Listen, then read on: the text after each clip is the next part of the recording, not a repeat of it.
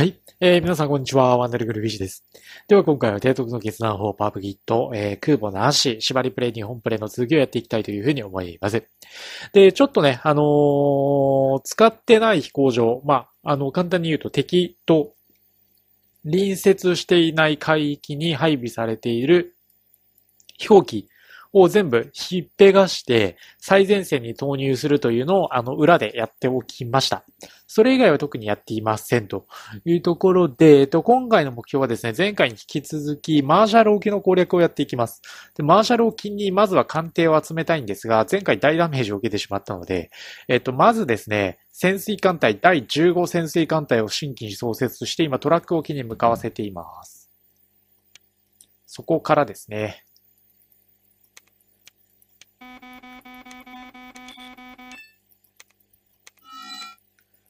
で、さらに潜水艦が増強されているので、潜水艦を作っていきます。三式弾も完成しましたね。では、お金がない中ではありますが、技術開発は入れておきましょう。技術の遅れは取り返しがつかなくなるので、入れておきます。で、物資援助はアルミの押し売りを行います。で、中部太平洋にはスパイを潜入させる。で、えー建造は艦船で、もうここはね、ひたすらにひたすらに潜水艦でしのぐ。そのために潜水艦を、えっ、と、5隻ほどは作れるかなえー、5隻作りましょう。作れるだけ欲しい。今は潜水艦が。とにかく。で、潜水艦を補充して、最前線トラック置き見ておくと、まだ艦隊到着してないか。艦隊の到着を待ちましょうね。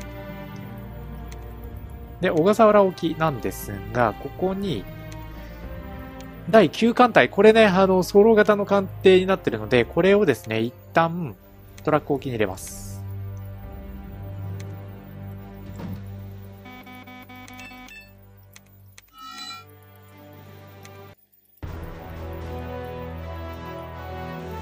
さて、マーシャル沖、引き続き攻略2ヶ月、攻略しましょう。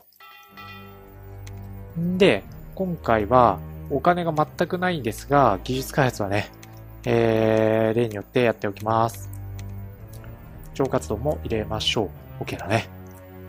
で、えっと、今回は輸送船を、まあ2隻だけでもいい。とにかく欲しい。で、これをオーストラリアに入る。オーストラリアはね、あ、オーストラリアじゃない。どこだっけな。えっと、南シナだったかな。南品だね。鉄が取れる南品に配備。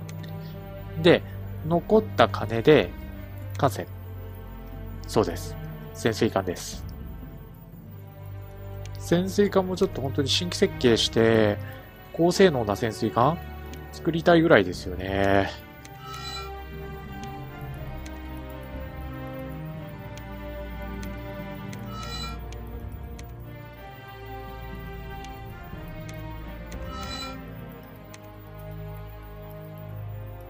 で、潜水艦を作って、新たに出来上がった潜水艦は、新規編成で第14潜水艦隊として、えー投入していきます。で、どこに投入するのというと、トラック沖まで運んでいきましょう。2週間で到着します。で、残った金と鉄、うん、アルミを使って、航空機。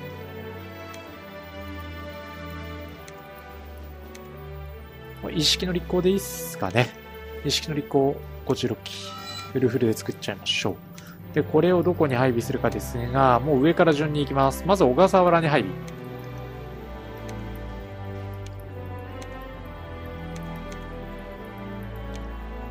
ちょっと待って、小笠原もう満帆か。これ以上飛行場も作れないからちょっと厳しいよね。マリアナ沖は？マリアナはまだ置けるね。一式の立候。これを大増強かけます。もう最前線にね、コツコツと入れていくしかないので、やっていきましょう。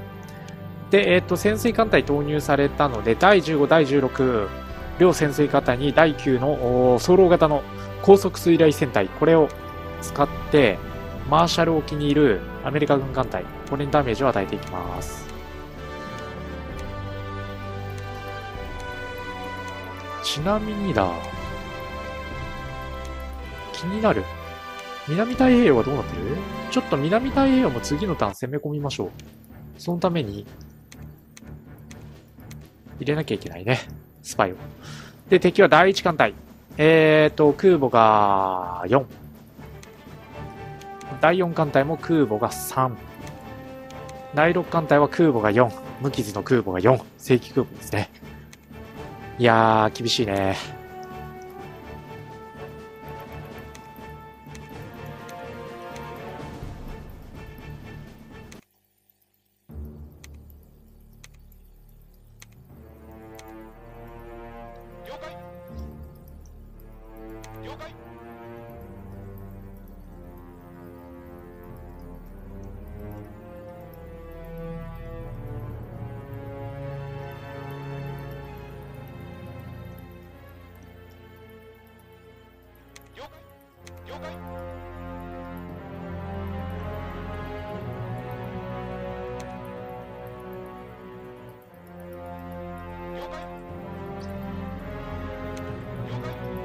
さあ、高速の水雷戦隊と呼ばれている、えー、この、ソロ型の駆逐艦隊。これをうまく使っていかなきゃいけないね。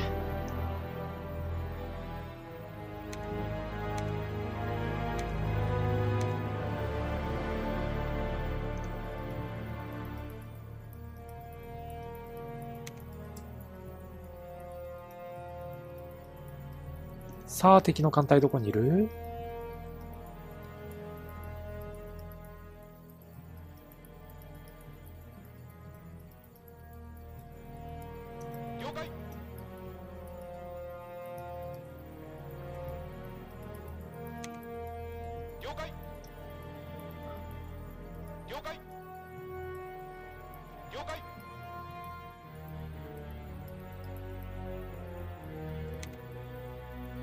辺にいつもいるんですよね、塔の。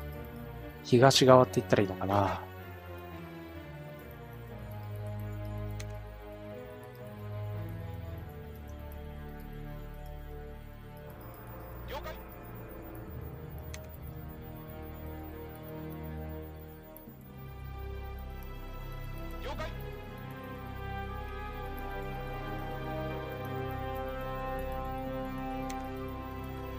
できるだけね、飛行場から離れたところで戦いたいので、一旦、えー、駆逐艦艦隊は離れましょう。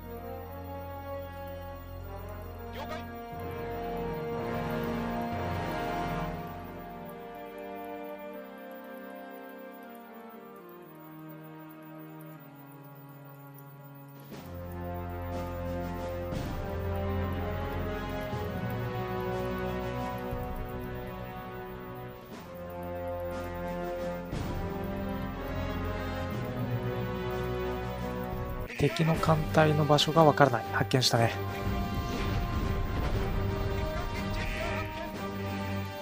上の方にいるのを確認したね。向かおう。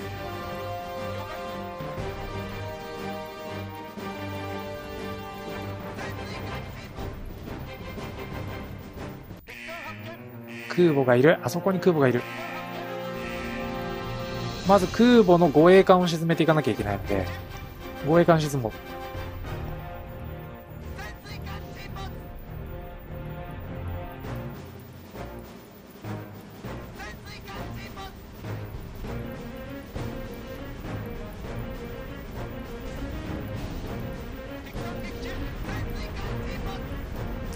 空母を沈めたい。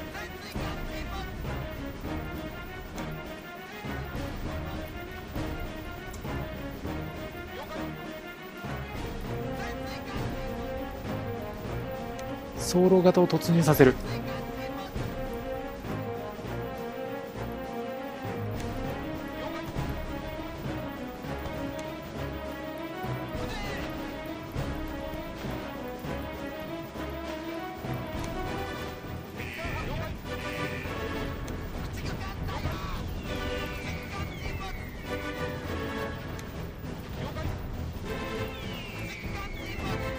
ダメだ、全く活躍の場がないぞ。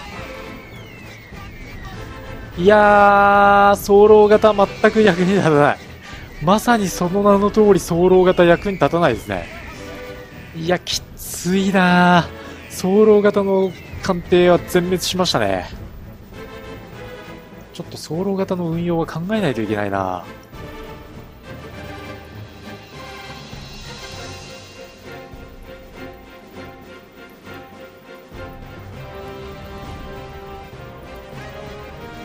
思った以上にきついわ。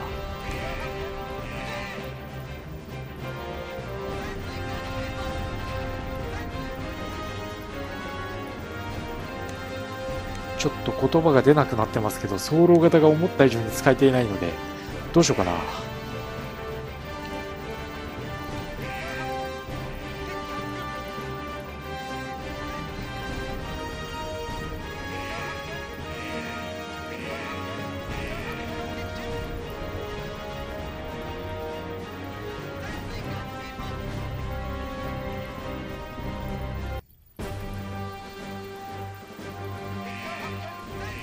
た。潜水艦隊全滅というか、全艦隊全滅した。第9、第15、第16、3個艦隊壊滅。ちょっとやばくないか、これ。どうする？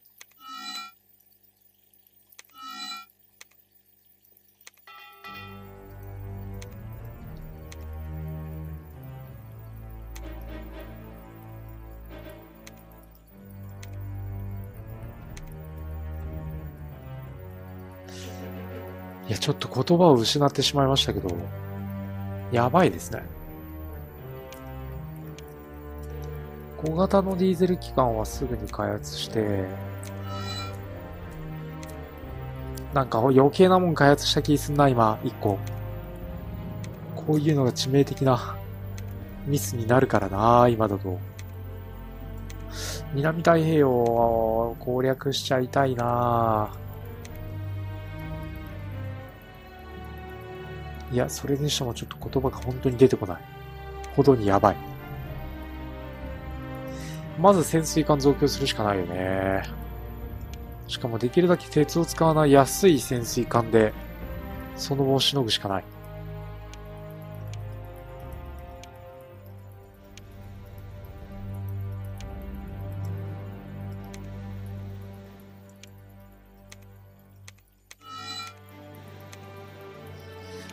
どうするかだな。とりあえず、各海域、守らなきゃいけないんですけど、アメリカ軍の方が圧倒的に資源の獲得量が多いので、このまま行くと、やられる。自利品になる。えっ、ー、と、小笠原沖から確認して、小笠原沖は守りきれるだろうと期待しているけど、その小笠原ももう今危ないからな。マリアナ沖。うーって感じだね。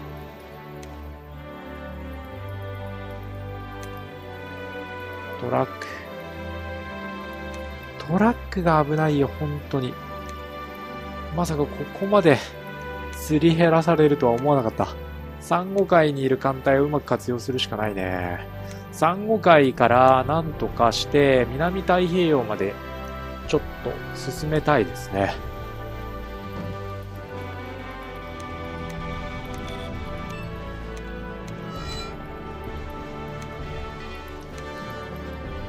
南太平洋のスパイレベルどうなったか確認する？南太平洋すぐ逮捕されたからね。全然だね。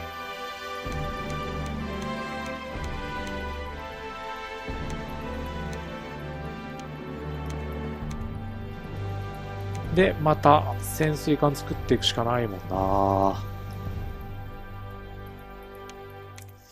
一つ言えるのはこの潜水艦ばっかり作ってて、で、戦艦部隊とかがすり減ってるっていう状況を考えると、ハワイ攻略？そのための前哨戦であんまり疲弊するわけにはいかないんですけど、そのために潜水艦主力で投入していくしかないっていうのと、ちょっと期待していた走路型が、あまさにその名前の通り全く使い物にならないっていうね。どうするかな？かといって走路型の運用でどうにかなる話じゃなさそうでしたよね、さっき。走路型が思ったより足が遅いんだよね。もうちょっと足が速ければ、走路型の使い道も見えてくるかなという気はするんですが、困った。これは困りました。えーと、トラック沖に潜水艦入ってるけど、これでどうにかなる戦力じゃないので、やっぱり南太平洋だな。南太平洋が全然スパイレベル上がっていかないね。本当に。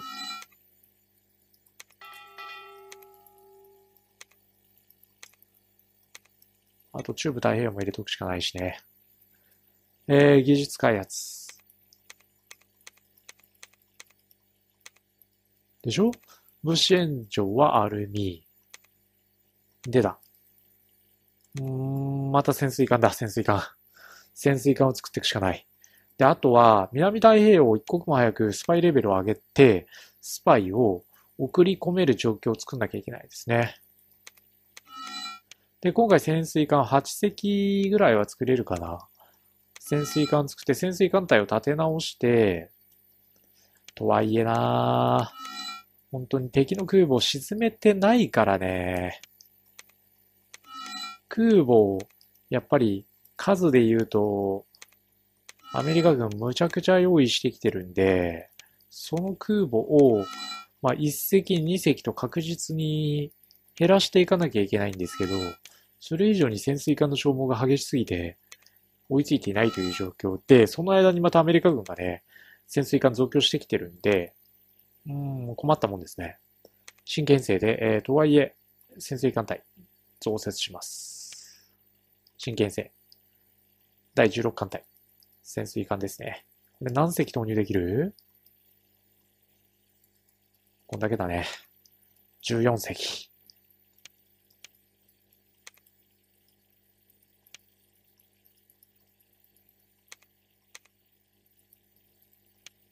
これトラック置きに入れよう。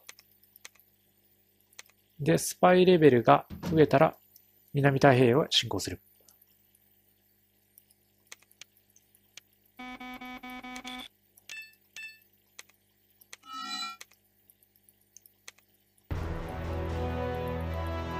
いやー、1000円しかもらえないってきついよな、マーシャル沖の攻略に。もうちょっと数欲しいよ。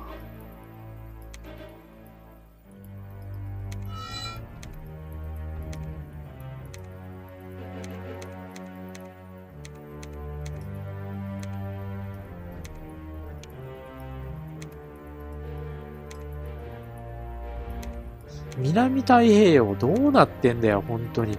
全然スパイレベル上がっていかない。こんな調子だと、いつになったらって感じだね。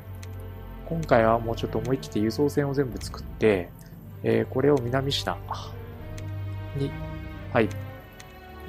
あと鉄が取れるところだね。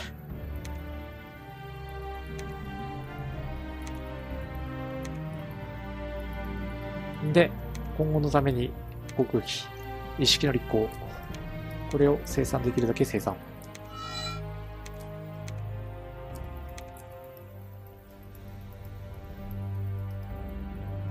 で、艦隊は新建成で、えー、第15潜水艦隊として、これを用意。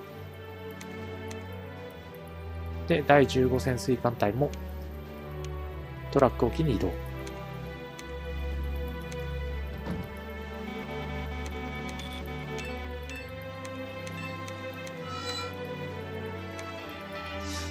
で、スパイレベルどうなってる？これ、スパイレベル上がっていかないと本当に南太平洋の攻略が全然進まないんで、なんとかしなきゃいけないですね。南太平洋全然進んでいかないよ。本当に進んでいかないね。で、走路型作る前にやっぱり潜水艦ですね。いやー、走路型ちょっとなんか運用でどうにかなるって感じじゃなかったよなさっき。やっぱ小型のディーゼル機関2が完成したら、より足の速い超高速水雷戦隊として、走路型の2改造型を作っていくしかないのかな。そもそもこの走路型構想がこのマッチするのかっていうと、ちょっとそっからもう危ぶまれてる状態なんで、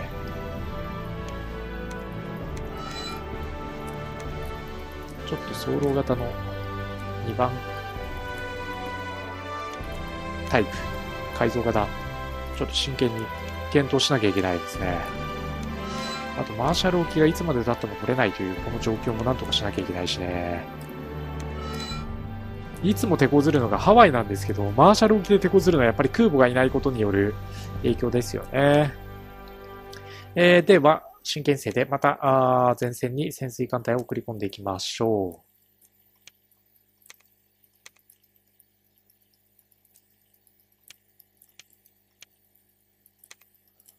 トラック置きです。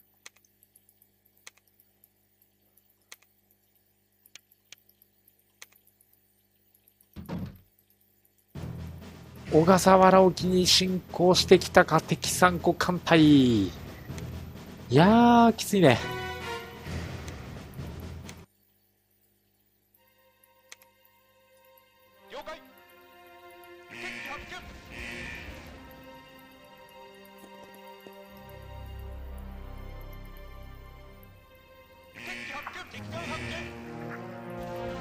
さあ、逃げろ逃げろ。味方の艦隊は逃げるぞ。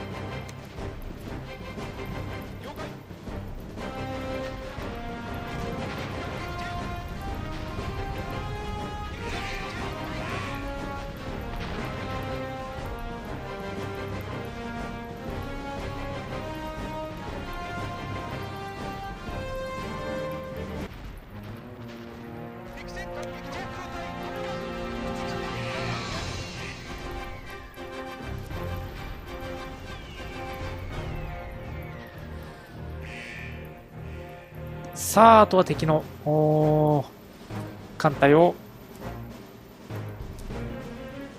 しっかりと駆逐していきましょう。いやー、小笠原の方はなんとか防衛できそうだね。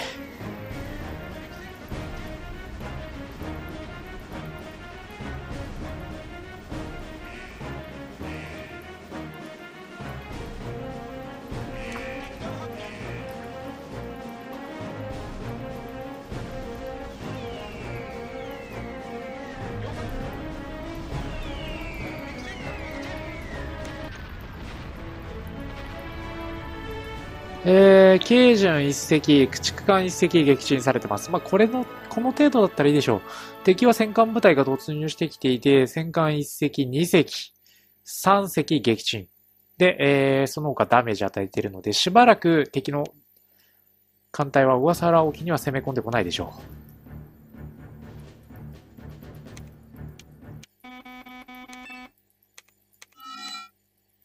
ただし、小笠原は守らなきゃいけないところなんですが、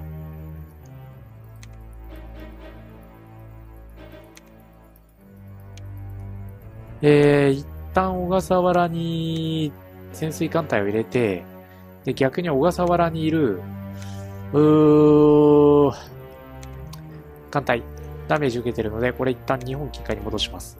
で、日本近海では、えっと、まずね、傷ついた艦隊を修復するのと同時に減ってしまってるんで、艦隊がね。それを回復してあげなきゃいけないので、えー、作りましょう。物資援助はいつものアルミの押し売り。超活動はスパイ入ってるね。よし。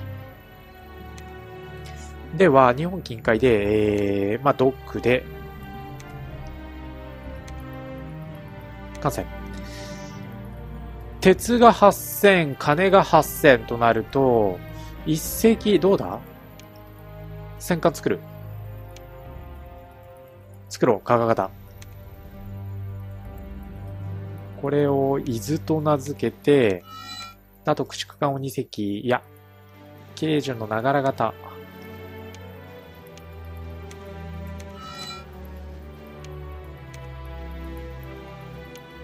さらに駆逐艦を1隻作りましょう。駆逐艦は普通の駆逐艦です。まあ、いわゆるソロ型ではないものですね。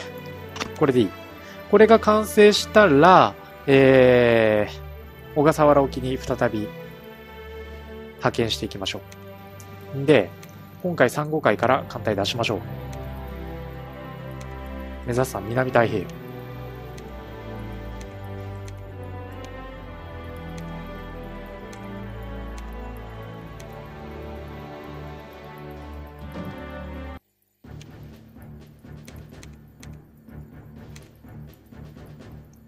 ここに飛行場あるよね。真ん中にね。確実に。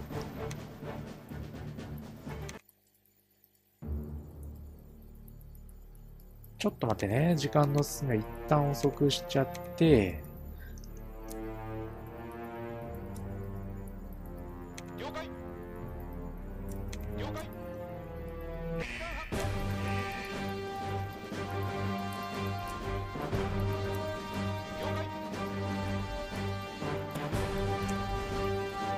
さあ、戦艦部隊は敵の艦隊と攻撃戦に入る。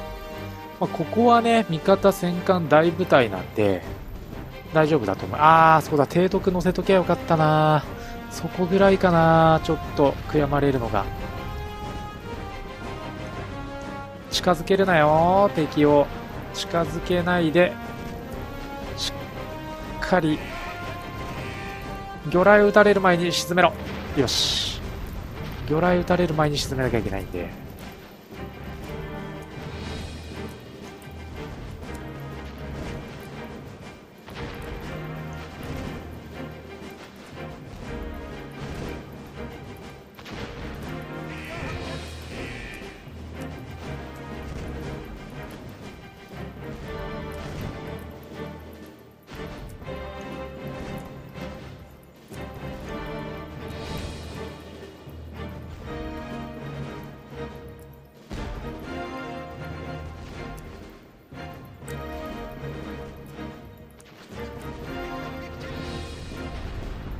ょっと提督乗せておかなきゃいけなかったっていうのがものすごい大きな反省点だな。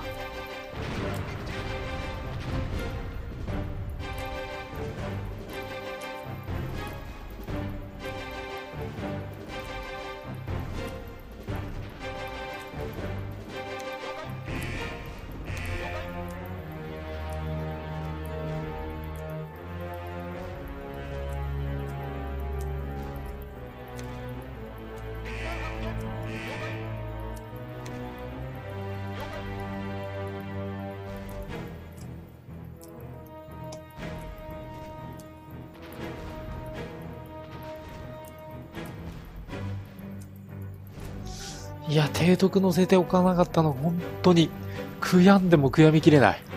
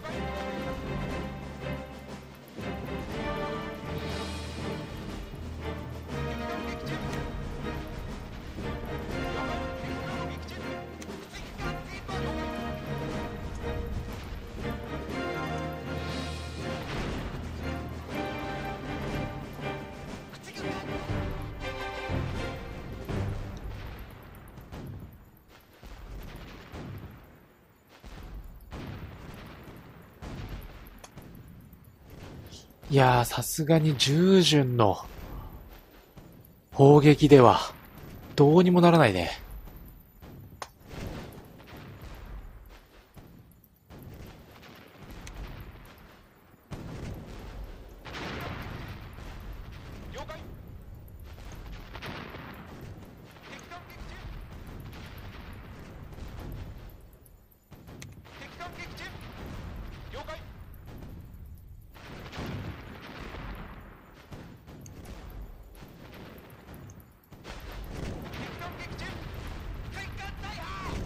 大破した戦艦は帰らせる。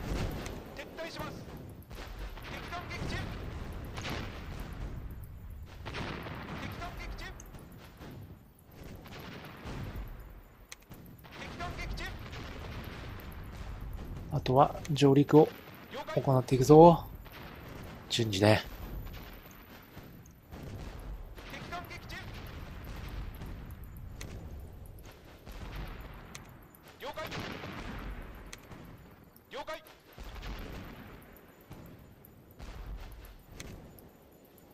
さあ、上陸部隊が上陸し開始しています。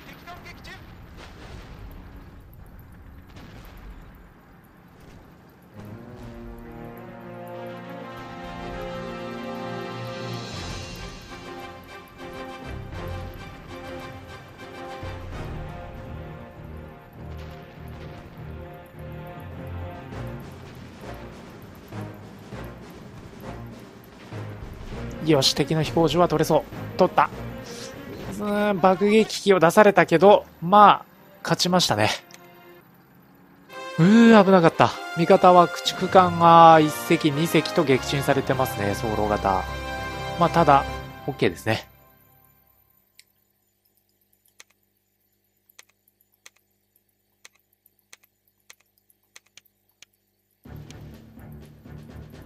まあ、徐々に徐々にとそのハワイ包囲網が完成しつつあるので、これは良しです。プラスです。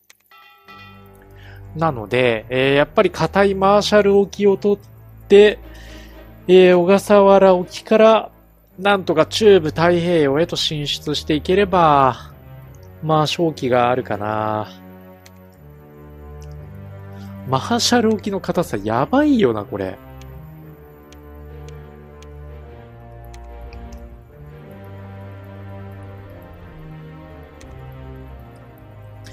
えー、ではね、ちょっといい時間になりましたので、今回はここまでにして、えー、まあ、次回は南太平洋の守りとマーシャル中部両海域のダッシュを目指していきたいというふうに思います。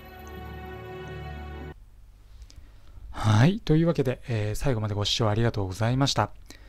ぜひ、チャンネルの登録、あとはですね、ツイッターの方で動画の収録状況とあとは配信状況、まあ、その他もろもろ情報を発信しておりますので、え興味のある方はぜひ Twitter の方もフォローしていただければ嬉しいなというふうに思います。